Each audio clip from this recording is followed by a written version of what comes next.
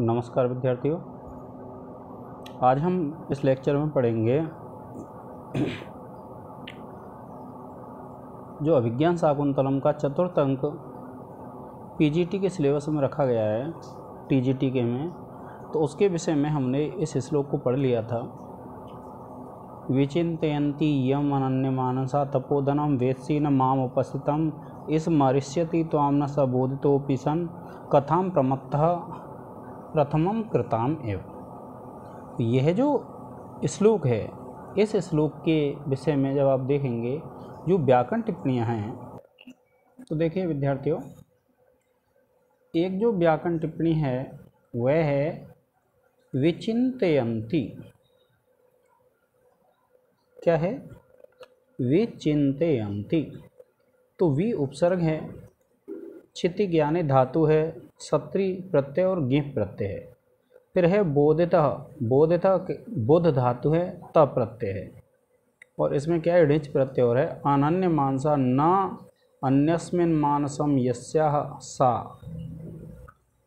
तो ये बहुवीरी समास हो जाएगा, विद्यार्थियों। फिर है न अन्यत अवलंबनम यस्य तत् अनन्य मानसम यस्या सा। और यम यम जो आया है, वो दुष्यंत के लिए आया और सह भी दुष्यंत के लिए आया है। तपोधनम तप एव धनम यस्य इति तपोधन। इसमें भी क्या विद्यार्थियों? बहुवीरी समास है। तो आपको ध्यान रखना है, ये जो समास हैं, बहुत ज़्यादा पूछे जाते हैं परीक्षाओं में।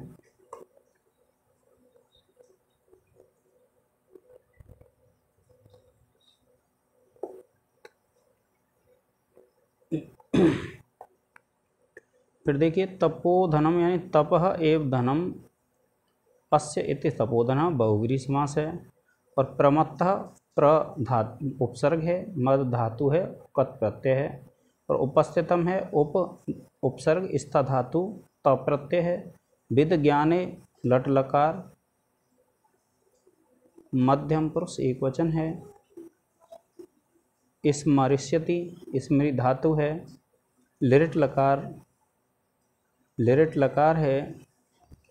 और प्रथम पुरुष एक वचन है। इसी प्रकार सन है तो सन में क्या है? अस धातु सत्री प्रत्यय और कृत है तो कृ धातु और त प्रत्यय है। इस प्रकार से क्या है? ये जो है, इसकी व्याकरण टिप्पणी हो जाती है विद्यार्थियों। तो आप ध्यान रखेंगे। अब उसके बाद देखिए। ये जो हमारी पुस्तक है, जब आप पढ़ेंगे आगे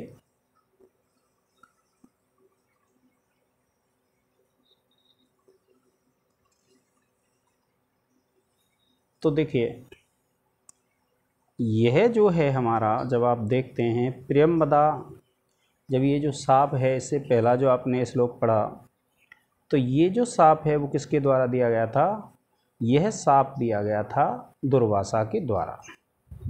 अब होता क्या है कि इस साप को जब प्रियम्बदा सुन लेती है, और प्रियम्बदा जब इस साप को सुन लेती है, विद्यार्थियों तो वह प्रियम्बदा क्या कहती है कि हा धिक हा धिक। आपसे कई बार जो टीजीटी पीजीटी की परीक्षाएँ हुई हैं, उसमें कई बार ये प्रश्न पूछा गया है कि जो दुर्वासा ऋषि हैं, उनके साप को सबसे पहले किसने सुना था? तो आप ये ध्यान रखेंगे, सबसे पहले किसने सुना? प्रियम्बदा ने।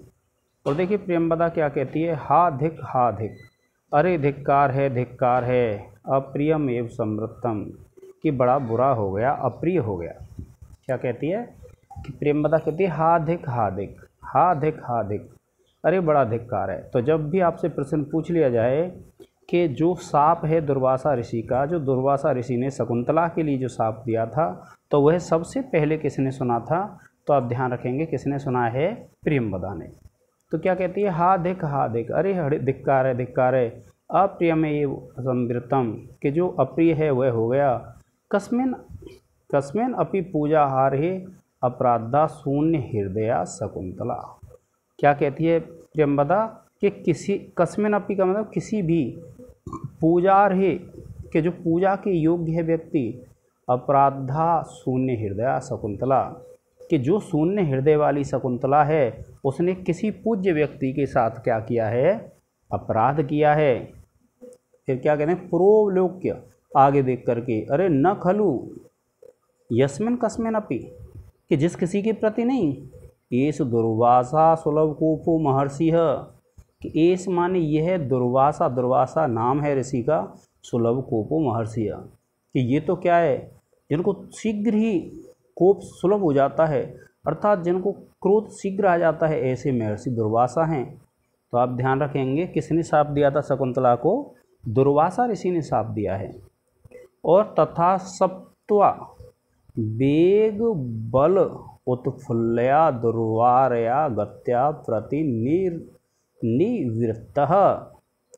क्या कहती है प्रेमदा, कि तथा सत्वा यानी उस प्रकार से उसको साप दे करके वेग बल उत्फुल्लया दुर्वारया गत्या प्रति निवृत्त, कि वेग और बल से युक्त दुर्वार अर्थात जिसको रोका नहीं जा सकता है, ऐसी गति से वापस जा रहे हैं। इस प्रकार से क्या है, जो प्रियम बदा है, कई बार परीक्षा में देख पूछा जाता है प्रश्न कि जो शकुंतला है, उसको साप किसने दिया था? तो आप ये ध्यान रखेंगे, किसने दिया है? दुर्वास, दुर्वासा ऋषि ने। और सबसे पहले किसने सुना साप को? प्रियम्बदा ने। अब कहती है अनुसुईया कहती है, को अन्यो हुत वहा दुग्धुम प्रभवती। के को अन्यो हुत वहा दग्धुम प्रभवती। के कौन दूसरा ऐसा होता है, अग्नि के अलावा जो जला सकता है। ध्यान रखेंगे, ये कथन कई बार परीक्षा में पूछा गया कोन्यो हुत वहा दग्धुम प्रभवती? अर्थात, कौन दूसरा है जो जलाने में समर्थ है? तो अनसुईया का कथन है ये गच्छ पादयो प्रणम्य निवर्तेनम यावत अहम अर्गोदकम उपकल्प्यामी। क्या कहती है अनुसुईया कि गच्छ? प्रियम्बदास कहती जाओ, पादयो प्रणम्य उनके पैरों में प्रणाम करके निवर्तेनम इनको लौटा के लाना और यावत हम अर्घोदकम उपकल्प्यामी जब तक मैं अर्घ और उदक लेकर के आती हूँ। यानी जो अनसुईया है अनसुईया प्रेमबदा से कहती है कि तुम जाओ और उनके पैरों में नमस्कार करना और उनको लौटा के लाना और तब तक मैं क्या करती हूँ, उन महर्षि के लिए अर्क और उदक लेकर के आती हूँ। ध्यान रखेंगे, अर्घ और उदक, क्योंकि अर्घ होता था और उसको लेकर के आती हूँ। प्रियम्बदा तथा प्रियम्बदा वैसा ही करती है, क्योंकि प्रियम्बदा को उस अनुसुईया ने भेजा है तो प्रियम्बदा क्या है? उन ऋषि के पास चली जाती है। और इतने निष्क्रांता ऐसा करके चली जाती है। अनसुईया पदांतरे स्खलितम निरूप्य। अनसुईया थोड़े कदम चलती है और वह क्या स्खलित हो जाते हैं उसके पद, कदम, अर्थात उसके जो कदम हैं, वो लड़खड़ाने लगते हैं। और जब उसके कदम लड़खड़ाने लगते हैं तो देखिए क्या कहती है? अहो, अरे आवेग स्खलतया गत्या प्रभ्रष्टम मम अग्रहस्तात पुष्प भाजना यानी उसके पैर लड़, लड़खड़ा जाते हैं और कहती है, अहो, अरे आवेग स्ख, स्खलित गतया। यानी आवेग से लड़खड़ाई हुई गति के द्वारा प्रभ्रष्टम प्रभ्रष्टम माने गिर गया है, मम अग्रहस्तात पुष्प भाजनम यानी मेरे हाथों से फूलों का जो पात्र है, वह गिर गया है। इते पुष्पोच्चयम रूपयति। इसमें क्या बताया कि अनसुईया जब जाती है, तीव्र गति से जाती है, और तीव्र गति से जाती है तो उसके पैर लड़खड़ा जाते हैं, और उसके हाथों में जो पुष्प का पात्र था, पुष्प भाजन था, वह गिर जाता है। और इति पुष्पोच्चयम रूपैती और ऐसा कह करके क्या है वह जो फूल थे, उनको वह एकत्रित करने का अभिनय करती है। रूपैती, अर्थात उसको एकत्रित करने का क्या करती है, वह अभिनय करती है। प्रियम्बदा कहती है प्रियम्बदा आ जाती है, प्रतिवक्र सह कस्यानुनय प्रतिग्रहणाति। क्या होता है, प्र प्रकृति वक्र के स्वभाव से जो टेढ़े हैं स कस्य अनुनय प्रतिग्रहणाति कि ऐसा व्यक्ति किसी के अनुनय को ग्रहण नहीं करता है, स्वीकार नहीं करता है, किमपि पुनः सानुक्रोश कृत। कि किमपि, कि कुछ भी पुनः सानुक्रोश कृत, कि मैंने कुछ अनुक्रोश कर लिया था। क्या कहा उसने? कि अनुक्रोश का मतलब होता है, विद्यार्थियों, दयालु बनाना। यानी प्रकृति से क्या कहा उसने? प्रकृति वक्र स कस्य अनुनयम प्रतिग्रहणाति। के स्वभाव से जो टेढ़ा व्यक्ति होता है, वो किसके अनुनय को, किसके निवेदन को स्वीकार करता है? और किमपि पुनः सानुक्रोश कृत कि फिर भी मैंने कुछ उनको दयालु कर लिया था। अनसूया सहिस्मितम मुस्कुरा करके पूछती है, तस्मिन बहवे तद कथय? कि फिर तो ये ठीक है, बताओ क्या हुआ था? तो प्रियमदा कहती है, यदा निवर्तितुम न इच्छति कि यदा माने जब निवर्तितुम न इच्छति लौटने के लिए तैयार नहीं हुए, तदा विज्ञापितु मया तो मैंने उनसे निवेदन किया। क्या कहा? तदा विज्ञापितो मया तो मैंने उनसे निवेदन किया। क्या निवेदन किया?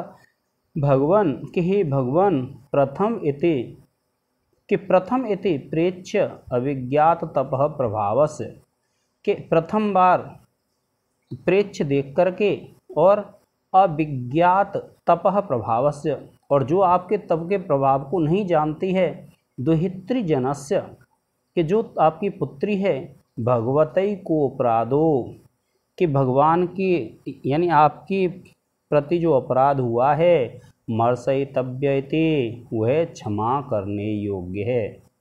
क्या कहा प्रेमदा ने कि यदा निवर्त तुम न इच्छति कि जब दुर्वासा ने लौटने की इच्छा नहीं की, तदा विज्ञापित मया तो मैंने उनसे निवेदन किया कि भगवान, हे भगवान, प्रथम इति प्रेक्ष विज्ञात तप प्रभाव से दुहित्री जनस्य भगवतई को अपराधो मर्सयितव्य के, हे भगवान, प्रथम अपराध समझ करके और जो आपके, तब के प्रभाव को नहीं जानती है, ऐसी अपनी उस पुत्री के एक अपराध को माफ़ करना चाहिए, अर्थात पहला अपराध है उसका और यह क्या है? क्षमा करने योग्य है। तो इसलिए हे भगवान, आप क्या करेंगे? उसको क्षमा कर दीजिए। देखिए अनसुईया ततः अनसुईया कहती है, उसके बाद क्या हुआ? तो प्रेमदा कहती है, ततो न मे वचनम, अन्यथा भवितुम अर्ति कि मेरा जो वचन है, वह अन्यथा नहीं हो सकता है। किंतु अभिज्ञान आवरण दर्शन सापो निवर्तयिष्यत इति मंत्रे माण एवं अंतरहित क्या कहती है प्रेमदा कि ततो न मे वचनम अन्यथा भवितुम अर्ति तो वो जो ऋषि दुर्वासा हैं, वो क्या बोले कि मेरा वचन अन्यथा नहीं हो सकता है? किंतु अभिज्ञान आवरण दर्शनेन, कि अगर उसने कोई भी आभूषण दिया हो तो उसको दिखाने से सापो निवर्तिस निवर्तिष्यत इति। तो इससे क्या है? साप समाप्त हो जाएगा। और मंत्रेमाण, अर्थात ऐसा कहते कहते ही एव अंतरहित अंतर ध्यान हो गए। अर्थात, वह जो ऋषि दुर्वासा थे, वह ऐसा कह करके क्या है, वह गायब हो गए अंतर ध्यान हो गए। अनसुईया बोली सक्यम इदानीम आश्वसितुम। फिर तो हम आश्वस्त हो सकते हैं। यानी धैर्य हम धारण कर सकते हैं, वह बोली सक्यम इदानीम आश्वसितम कि फिर तो हम आश्वस्त हो सकते हैं, धैर्य धारण कर सकते हैं। अस्ति तेन राजर्षणा प्रसंप्रस्थितेन स्वनामधेय अंकित अंगुलीयकम स्मरणीयम इति स्वयं पिन्नद्धम के अस्ति माने है। तेन राजऋषिणा सम उस राजऋषि दुष्यंत के द्वारा संप्रस्थितेन जाते समय स्वनामधेय अंकितम अंगुलीयकम। अपने नाम लिखी हुई एक अंगूठी, अंगुलीयक कहते हैं अंगूठी। स्मरणीयम इति स्वयं पिन्नद्धम।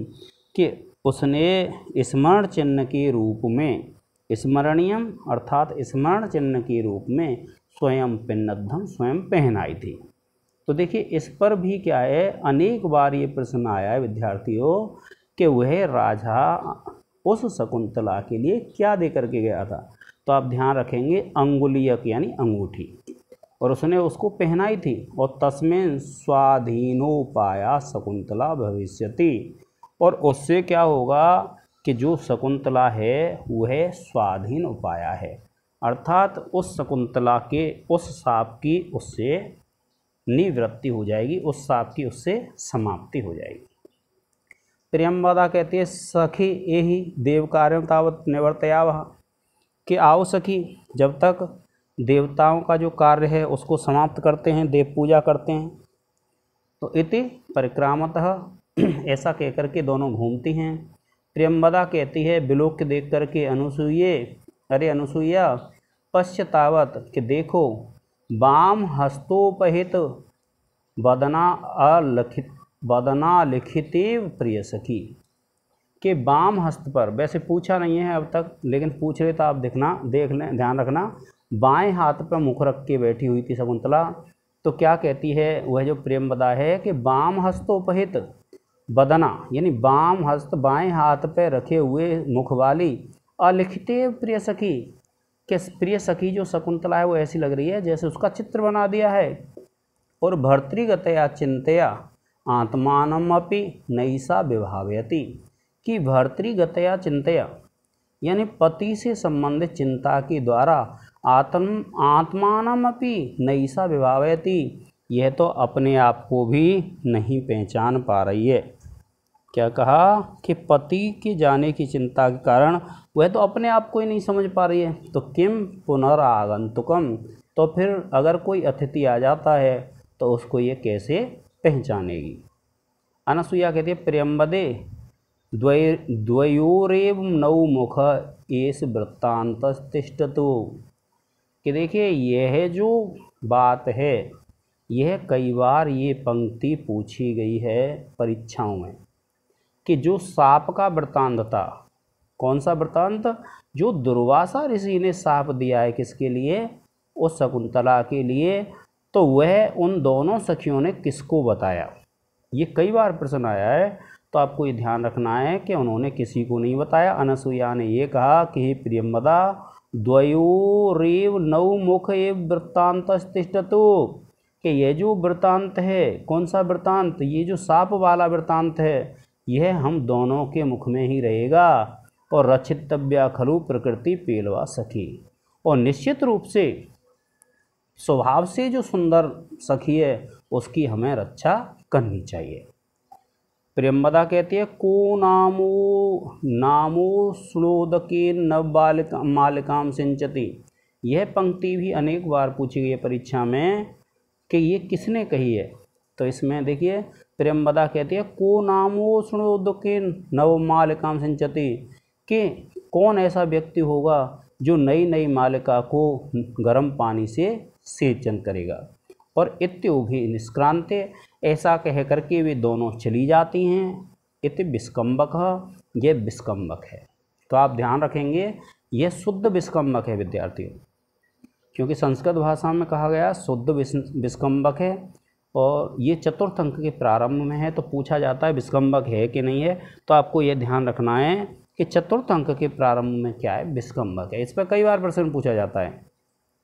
तो इस प्रकार से विद्यार्थियों विस्कम्बक तक आज हमने पढ़ा। और आगे आने वाले वीडियो में इससे संबंधित अन्य विषय को पढ़ेंगे, क्योंकि पाठ करना ज़रूरी है। आपको पुस्तक पढ़ना ज़रूरी है। अगर आप पुस्तक नहीं पढ़ोगे तो यह परीक्षा पास नहीं हो सकती है। इसलिए, क्योंकि उसमें बीच बीच में से पंक्तियाँ आती हैं तो इसलिए मैं आपको पुस्तक के माध्यम से विद्यार्थियों पढ़ा रहा हूँ। तो आज के इस लेक्चर में विद्यार्थियों इतना ही। जय हिंद, जय भारत।